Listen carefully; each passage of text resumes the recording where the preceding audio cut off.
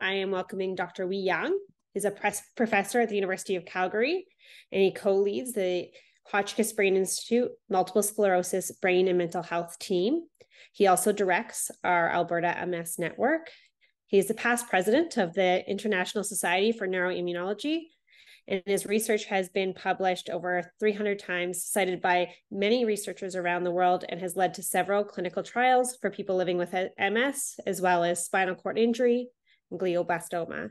His work is very well regarded around the world. And tonight he is here to share with you some new research developments in multiple sclerosis. So please, we go ahead. Thank you, Tricia, and thank you all for your attendance. Tricia, can you hear me well? Um, I presume you, all of you can hear me well, okay? Yes, Very I can hear you well. Go ahead. Excellent. Uh, thank you. Uh, so today I thought I'll bring a presentation that will last about 45 minutes or so to give us uh, enough time for Q&A at the end. Um, and my intent today is to emphasize that there has been a lot of progress occurring on MS around the world in terms of our understanding and how to treat MS. I'm going to begin with this schematic that shows the players that are involved in MS. I'm going to orient you first to the brain and the spinal cord, also referred to as the central nervous system. And within the brain and spinal cord, we have these nerve cells called neurons. And here I show you one neuron communicating with another neuron and we have billions of this in our brain and spinal cord. Many of them communicate with one another and to the rest of the body. In order for communication to occur from one neuron to the next, there is a signal that is transmitted down this nerve fiber, also called axon, and then this then sets off a chain of event in the next one. In our body, some of these axons or nerve fibers are very long. In the spinal cord, they can be over a meter in length, for instance. And so we need mechanisms to speed up that conduction of signal. And that's enabled by this wrapping called myelin around nerve fibers. Myelin itself is made from this cell type called oligodendrocyte. And it is this combination of oligodendrocyte and the myelin that it makes that allows this rapid transmission of impulses. And then over here in the bloodstream, we have immune cells. We have many types of immune cells. They circulate in the bloodstream. Some of them, very few of them, make their way into the brain and spinal cord because they are normally kept out by this blood-brain barrier. Some of them do enter because immune cells are needed to help survey the brain and spinal cord. Immune cells are very important for us. They help us fight infections, guard against any possible infections, and the like. So these are the players in MS. And we'll see that in MS, these immune cells or some populations of immune cells become overactivated they gain the ability to cross the blood-brain barrier in large numbers and they begin to wreak havoc in the central nervous system so that the communication within the brain and spinal cord and with the rest of the body becomes impaired depending on which part of the brain and spinal cord is involved. So these are the players in multiple sclerosis. We can actually find these immune cells here, for instance, in a case in an MS brain donated uh, at uh, passing, and we can see that um, here we have detected a blood vessel labeled in red. Immune cells are coming out of the blood vessel and entering into the brain proper in large numbers, where they begin to help destroy the elements within the brain and spinal cord. So again, another schematic just so that we all leave this lecture with a good appreciation of what MS is about. In the bloodstream, we have these immune cells of different types. They are normally kept out of the brain and spinal cord by the, blood, by the blood-brain barrier. Some of these immune cells do enter to patrol, and this is the healthy situation. In multiple sclerosis, there is excessive activation of populations of immune cells, and now they begin to produce substances that break down the blood-brain barrier, and they enter into the CNS, the brain and spinal cord, where they begin to inflict injury. And over time, elements, in this case, the neuron and its nerve fiber uh, disappears because they have been destroyed. Yet another rendition, just to highlight one neuron um, and its nerve fiber, and another neuron and its nerve fiber. Here's an oligodendrocyte that is forming those myelin wrappings, insulation, if you like, along the wire. Uh, the healthy situation in multiple sclerosis because of the influx of immune cells into the central nervous system, the oligodendrocyte dies, and therefore the myelin that it makes is now lost. And over time as well, unfortunately, the nerve cell also disappears. And it is the disappearance of the nerve cell that is most associated with the progression of disability that one finds in an individual with MS. So that then is the pathology of multiple sclerosis. And here's a cartoon from my colleague at the Cleveland Clinic, just to highlight for us why myelin is so important. So a nerve fiber, it's going to be conducting that signal that goes down that nerve fiber and here's that same nerve fiber, but this time it has the myelin wrapping around it, and the conduction of impulse is that much quicker. So we see this example of a nerve fiber that does not have myelin on it. In comparison, a nerve fiber with myelin around it conducts impulses and signal very, very quickly. And so when we lose myelin, we, when we lose oligodendrocyte and the myelin that it makes, there is going to be consequence on the central nervous system. That's why we need myelin. So with that, then we have clinical forms of multiple sclerosis that some of you are likely very familiar with. The relapsing remitting form, most common form in which there is a relapse, then there is remission, another relapse, remission followed by another relapse, and this is relapsing remitting MS. In many individuals over the course of time, eventually there is steady progression of disability after an initial phase of relapses, and so that's this is called secondary progressive MS. In a few individuals, there is steady progression of disability from onset, and this is called primary progressive MS.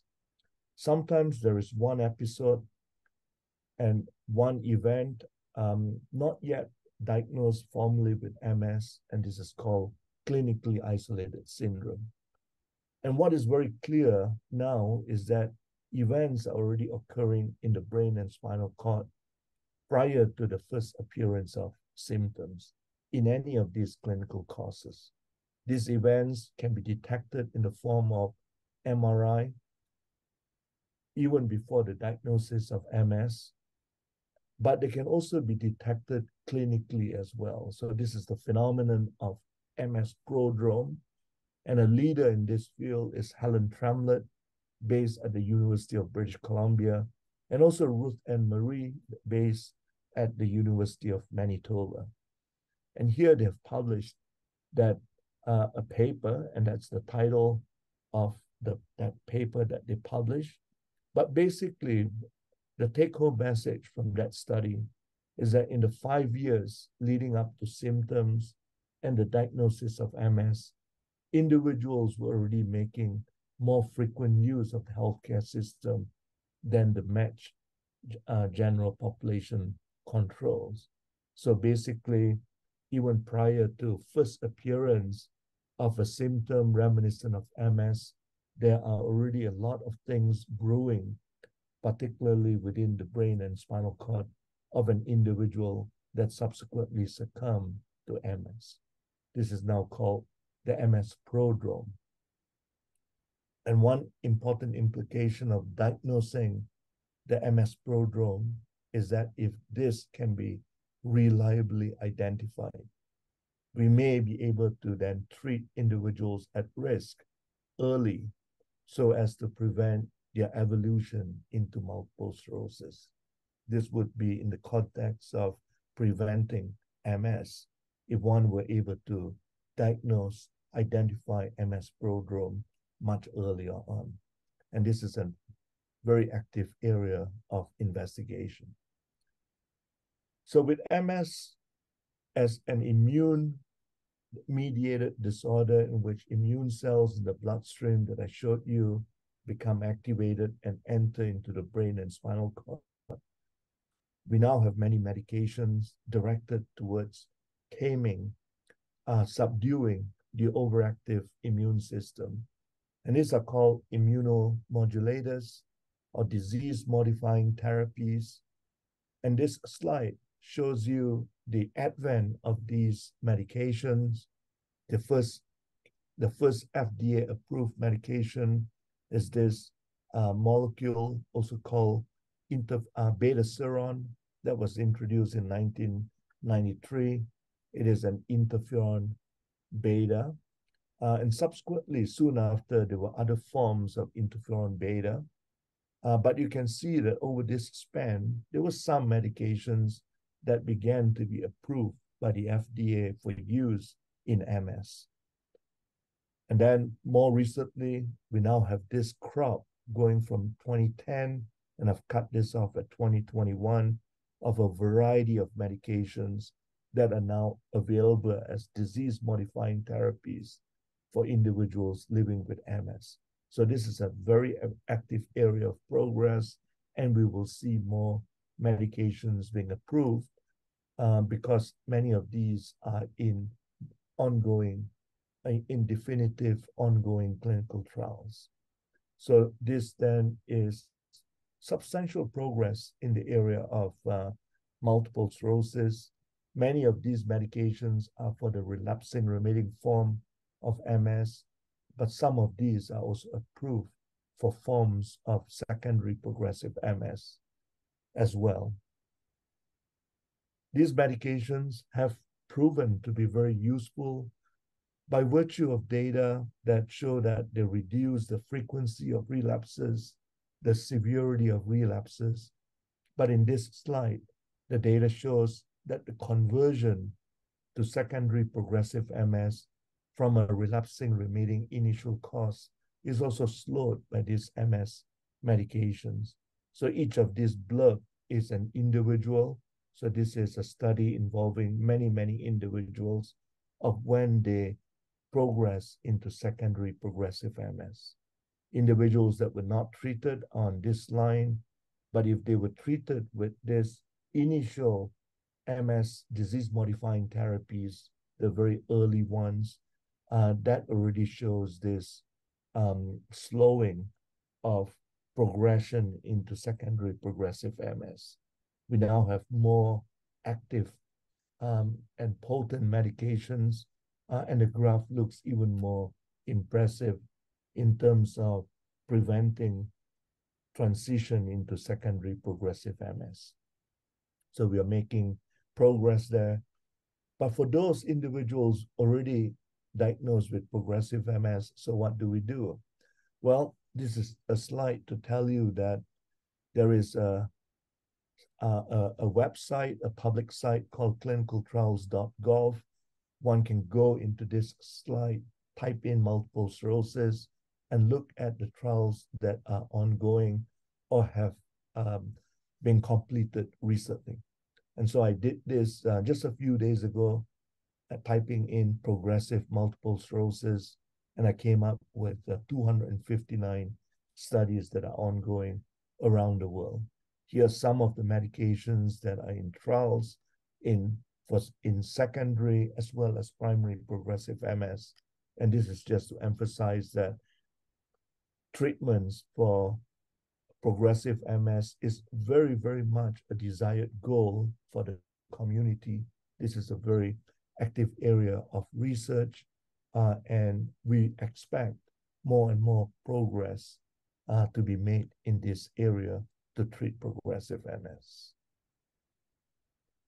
Locally here at the University of Calgary, we have also been involved in clinical trials. This is one example in primary progressive MS. And here I acknowledge the work of my neurology colleague, Dr. Marcus Koch, who led this study of a generic medication called hydroxychloroquine. This is an anti-malaria medication. We found that this medication could affect some of the bulging relevant to progressive MS. So this was brought into a clinical trial in primary progressive MS by Dr. Marcus Koch. It involved 35 patients. So this is a relatively small study, 35 patients, all with primary progressive MS.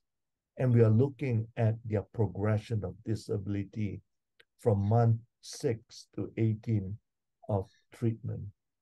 So in this study, these are the patients that uh, progress in disability, but here are the individuals that did not progress over that period of time. The expected number of patients to progress in worsening of disability was 40%, and with hydroxychloroquine, the odds of progression was halved. So this is a step in the right direction this work is being taken up by a United Kingdom group uh, with the plan to go into a larger phase three definitive trial of hydroxychloroquine in primary progressive MS. Hydroxychloroquine is a generic medication. It has been around for many years. It costs actually about 50 cents a pill uh, in comparison to current MS disease modifying therapies that typically would be in the hundreds of dollars per pill. So we are quite excited about this, uh, and hopefully this will all pan out in the future. But again, it is, we hope, we think, moving in the right direction. Yet another area of advance is in the neuropathology, what is happening within the brain and the spinal cord of individuals living with MS. So there has been a dogma around for some time that in the early stage of multiple sclerosis, one is dealing with a particular type of inflammation where immune cells come in from the bloodstream into the brain and spinal cord. And that later on, we are then dealing with immune cells or cells that are local within the brain and spinal cord. Uh, this would be what is referred to as compartmentalized CNS inflammation, where the inflammation is resident within the brain and spinal cord. So the dogma was that we have this type of lesion early on, and then this type of lesion then follows and associated with that would be increasing disability. MS was considered a two-stage disease in terms of its neuropathology. But these days, we recognize that everything is intermingled.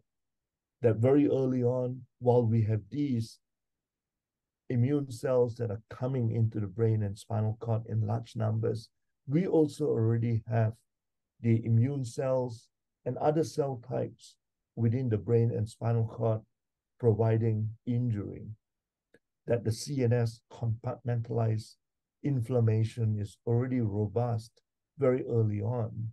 So everything is intermingled, that it's no longer a two stage, but we need to consider the amalgamation of all of these events occurring in the central nervous system all at once. Now, um, the implication of that, I'm going to explain uh, shortly. But here I wish to acknowledge my youngest daughter, Heather Yong, She is a neurology resident here at the University of Calgary, and she and I wrote this review on the types of lesions that one encounters in the brain of an individual with multiple sclerosis. Here is the typical lesion in which immune cells are coming across the blood vessel into the brain and spinal cord to produce injury. But there are other types of uh, injury as well. There are those uh, located here causing underlying brain injury. There's this compartmentalized CNS inflammation that becomes more and more widespread, but initiating very early on. And then there are other types of lesions, such as this. And our emphasis is that all of these lesions are seen across the spectrum. They're seen early, they're seen late. It is just a matter of numbers that early on we may have more of these initiating from the bloodstream, but already early on we also have these CNS initiated inflammation, but that as the disease progresses, we have more of this type, including this compartmentalized microglia activation. And here our uh, emphasis was that we cannot consider MS as um, a condition with distinct phases of inflammation or injury producing mechanisms, but all of these are intermingled. But there tends to be more of one type earlier on uh, and more of another type earlier on. Yes, but everything is intermingled um, and, and they all help to drive the neuropathology of MS. So one implication of that um, has resulted in this um, expert opinion piece. I am uh, honored to be a member of this team on behalf of the International Advisory Committee on Clinical Trials in Multiple Sclerosis. Uh, many of these uh, individuals, many of my colleagues here are leaders in the field uh, and we came together to provide this opinion piece in order to help the FDA, the pharmaceutical companies, um, and, and other um, uh, relevant organizations to rethink um, how to treat multiple sclerosis. And basically, uh, we emphasize that we need to identify and treat the predominant type of lesions that are driving worsening in an individual at any given time. In other words, um, recognizing that many types of lesions are occurring, some more earlier on, some more later on, but with variation across individuals, we need to be able to define the type of lesion that is driving the disability on an individual basis uh, and therefore to use medications appropriately. This also has relevance to clinical trials where we would like to be able to identify populations with predominant type of particular types of lesion for certain selected medications versus another group of MS individuals with a predominant different type of lesion and to treat that with medications that are more suited towards that type of lesion. This then is the field of precision medicine in MS, a very active uh, area. And the goal would be to identify particular types of lesions predominant in an individual at a given time and to use medications that are more selective and effective against those particular lesion types. And um, just to leave you with this complexity here, we reviewed that um, the injury in the in the brain of an individual uh, with MS, besides the immune cells, take many different forms, and we need to counter all of this that include inflammation, what are called free radicals, and also microglia activity that is driving compartmentalized CNS inflammation. And I'm going to take a few minutes to tell you a little bit more about microglia because the field is also making progress in that regard. So microglia is a type of cell type, is a type of cell that is found within the brain and spinal cord. It is an immune cell. It is resident to the brain and spinal cord. It has very important function as any immune cells would. It protects the brain and spinal cord. They are guardians and early responders uh, to injury in the central nervous system. Here we have, uh, let me just see if I can get a video to work. Um, and I'm going to do this. So this is a normal microglia, one cell, another cell here, in the normal uninjured brain and spinal cord. It is an immune cell, it's very active, it is surveying its environment, it is looking for threats. And here, a threat has been found. There's an injury here, and these cells are immediately responding and migrating to help to defend against that particular threat and also to help repair that particular area. So they're very useful cells normally in the brain and spinal cord.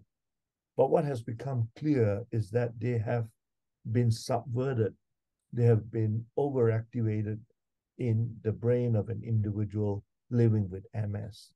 And we see these examples of their intense aggregation. Even in a normal appearing area, they are already aggregating and attempting to um, it's, it's just a not not a good environment. And then there are these types of lesions in which the microglia is at the rim and pushing the injury outwards to expand the injury. And where these cells are in abundance, these are also areas in which axons are beginning to be disrupted. Nerve fibers are beginning to be disrupted, as shown by this uh, particular label. So these are normally very important cells in our brain and spinal cord. Normally, they are defenders and guardians and responders to early injury. But in multiple sclerosis, they seem to be overactivated, and therefore we have called these protectors turn destroyers. So the field then is very interested in trying to normalize the activity of these microglial cells to bring them back to uh, a baseline level to reduce their activation uh, because when overactivated, those cells are helping to drive injury.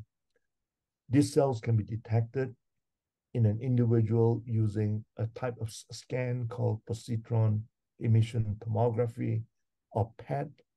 Uh, and here's a, um, a brain scan a regular MRI, uh, and this area looks quite normal. But at the same time, when a PET scan is done, one is already seeing signs of these microglial cells being activated. And then a month later, a follow-up MRI uh, over here, um, and I'm going to bring the pointer back. Um, and over here, a month later, one sees uh, that lesion forming.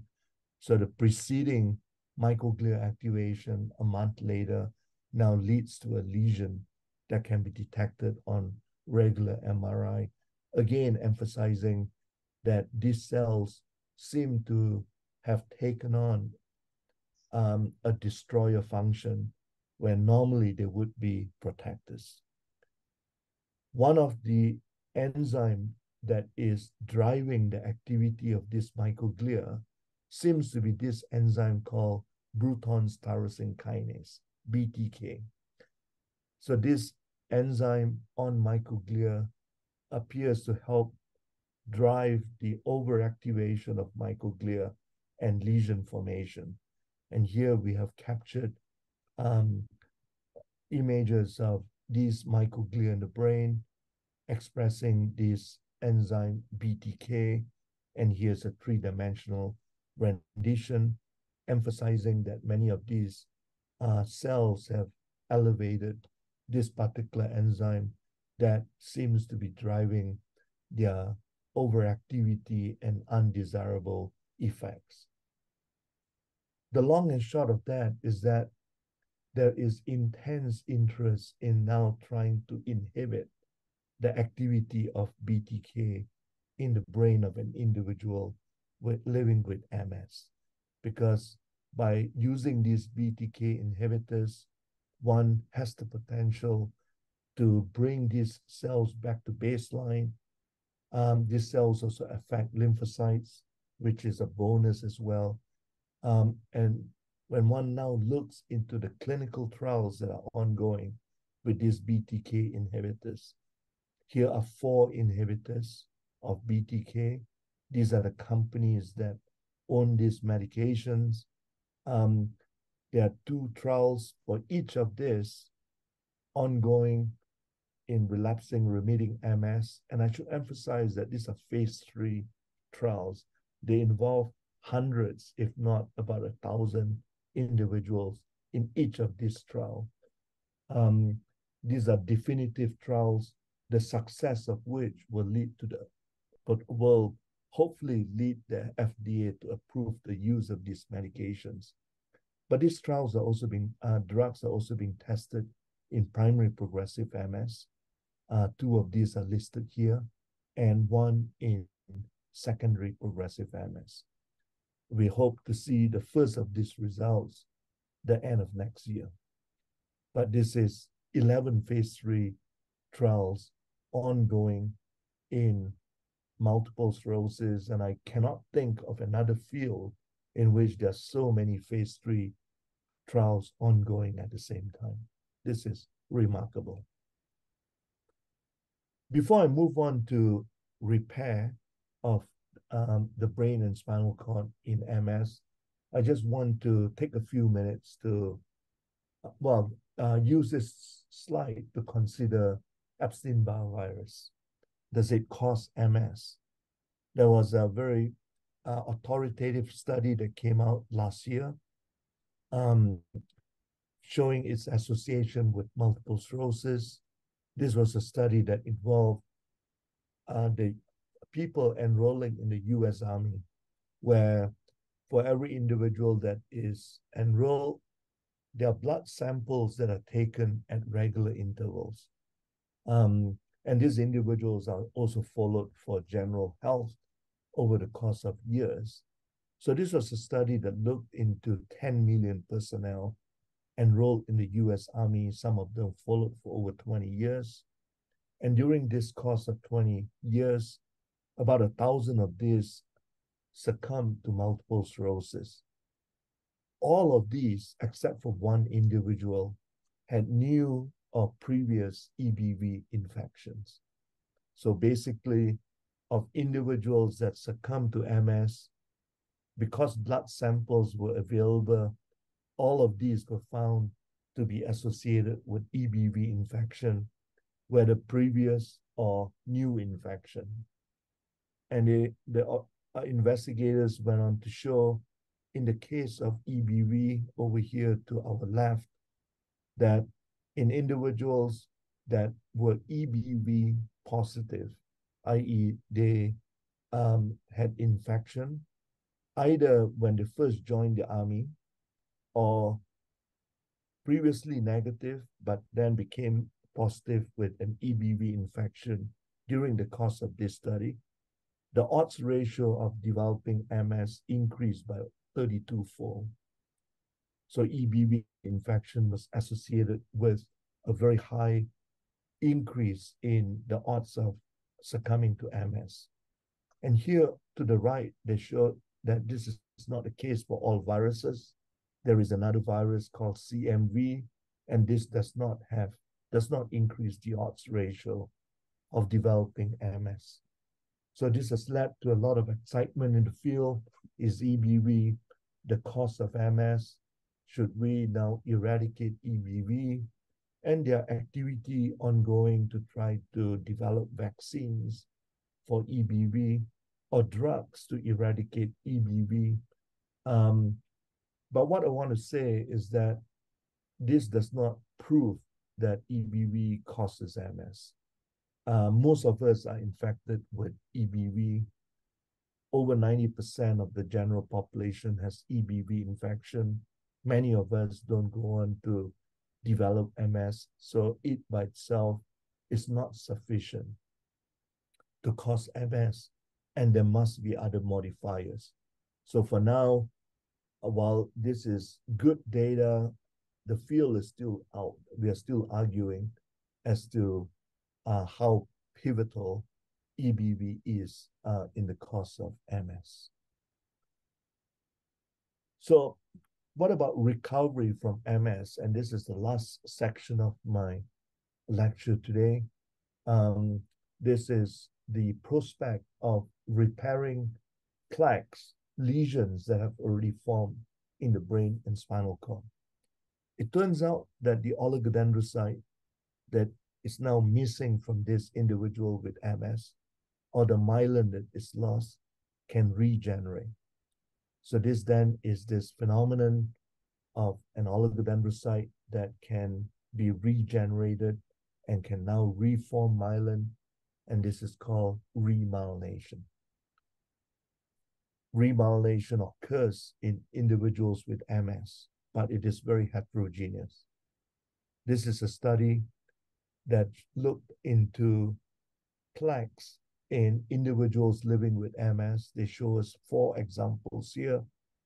These in red are plaques that did not have any evidence of remyelination. So this individual repaired poorly, but these are two individuals in which all the plaques were pretty much remyelinated.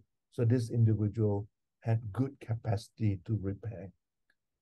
So it varies across individuals, but some individuals can repair very robustly.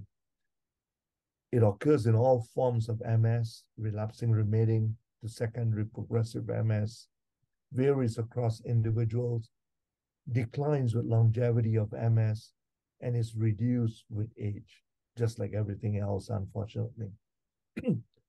the importance of remyelination in MS is that it can help restore the conduction of those signals that go from one neuron to the next. More importantly, is that the myelin can protect the underlying nerve. The new myelin that is put back on can prevent the underlying nerve from degenerating. And if so, remyelination can help prevent the progression of disability. And of course, we all hope and aim towards remyelination recovering functions. So this slide emphasizes that remyelination protects the axon or nerve fiber that has lost its myelin. Here is um, an oligodendrocyte. It's destroyed, and so the myelin is now lost, these wrappings, and with remyelination, the fate of the underlying nerve fiber is one of survival. This has been shown in experimental models very conclusively. If remyelination is prevented, the fate of that underlying nerve fiber is one of degeneration. So at least for many of us, we want to remyelinate because at the very least, we can help protect underlying underlying nerves and prevent progression of disability. And for some of us, we would like to recover function. Can we recover function? Well, we don't have that data just yet, but here's another study out of Paris using positron emission tomography, PET scanning, that can detect remyelination. And what they show is that in individuals that remyelinated very well by uh, uh, through PET scanning studies, these individuals tend to have very low EDSS disability score.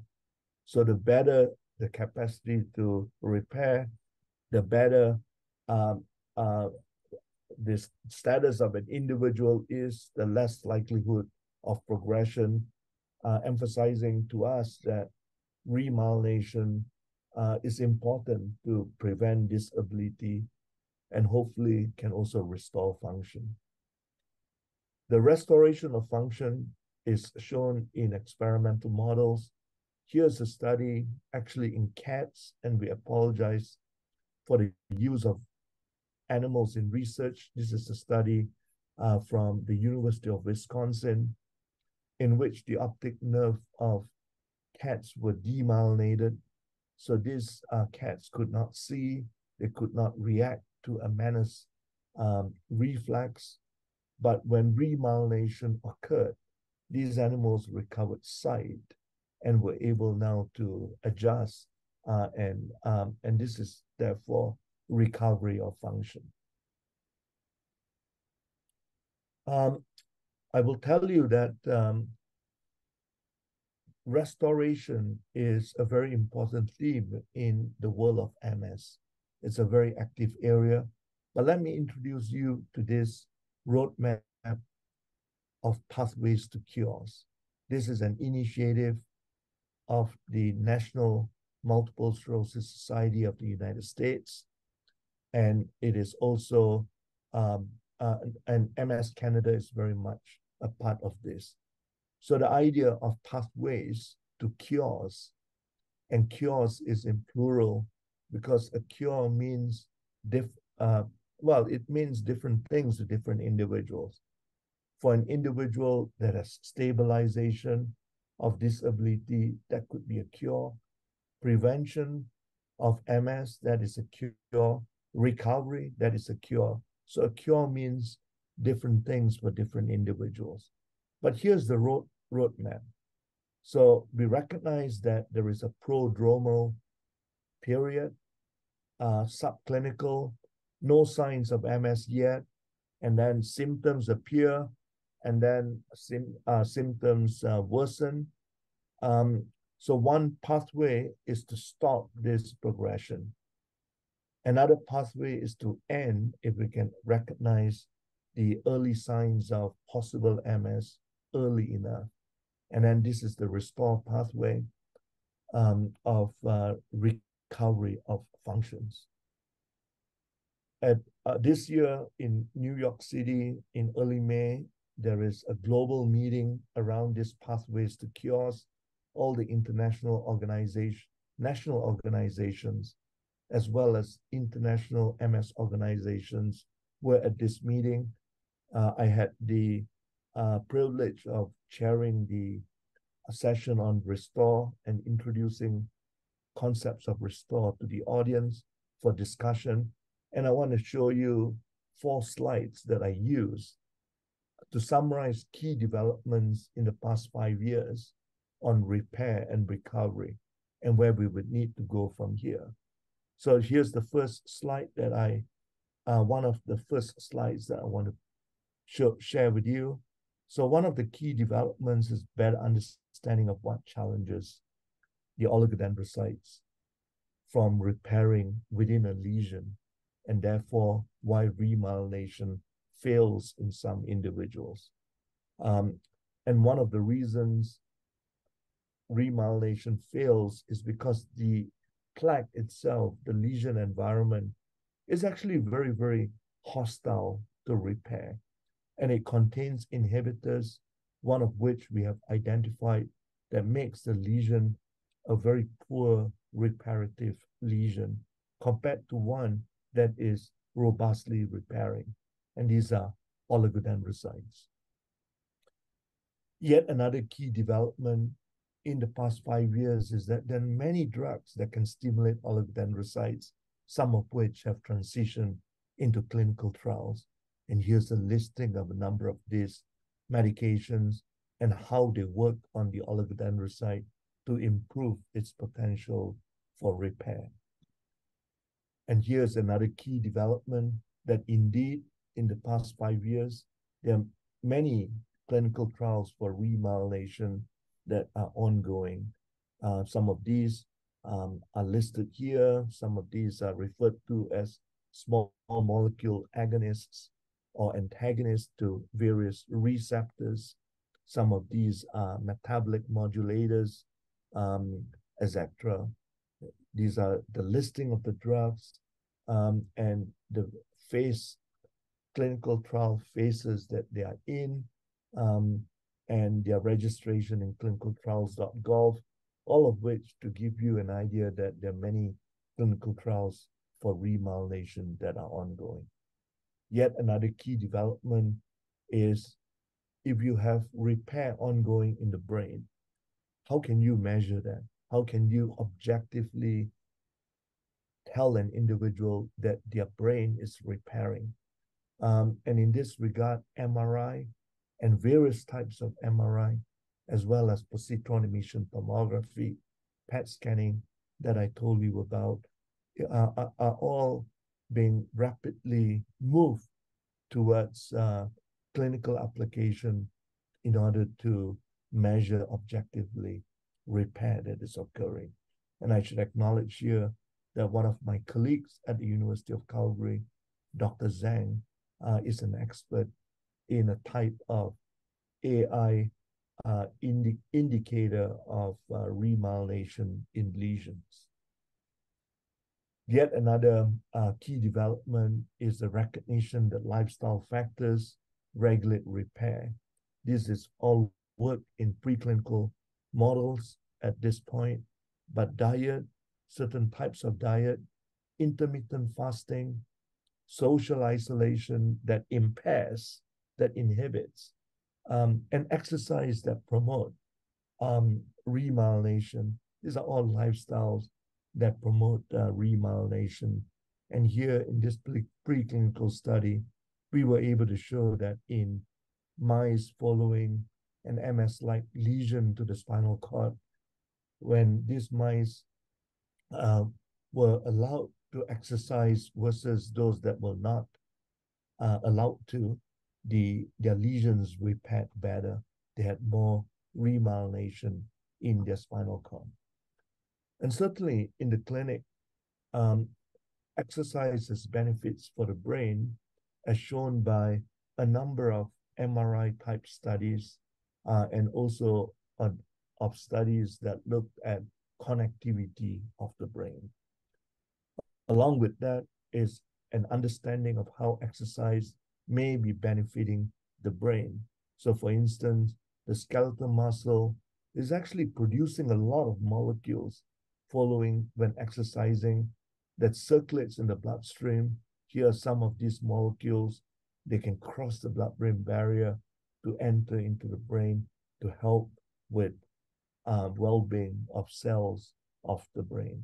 So there are actual mechanisms, biological mechanisms um, that one can invoke in terms of exercise-induced benefits for the brain. And with that, there is an expert group um, that have recommended 150 minutes per week of some form of physical activity. Um, and again, exercise is good for the brain. So the overall summary for the restore part that I had the privilege of chairing in the pathways to cures is that remyelination occurs in MS discovering repair medication is an active research area, some of which are already in clinical trials, that lifestyle factors such as exercise can confer benefits to the brain, including in brain repair. And I always uh, would like to encourage everyone to stay active. So here is my penultimate slide then. Uh, there are a lot of progress uh, that is occurring in the world of MS. We have new insights on the types of lesions and how they drive progression, that different individuals have different spectrum of lesions that we need to pay attention to in the context of precision medicine. We have many medications for relapsing remitting MS. We have medications that are increasingly becoming available for progressive MS. Steps towards precision, precision medicine are being made. There is the potential of repair medications coming down the pipeline, that lifestyle factors can help with promoting repair, and also this phenomenon of positive thinking. I was at a meeting in Quebec City just last week in which a researcher from Israel, a leader in the field, was explaining her findings on how positive thinking actually triggers biological mechanisms to affect the immune system. So by staying positive and hopeful, you know, I think that that can help uh, with most of our ailments, if not MS. And with that, I thank you for your attention.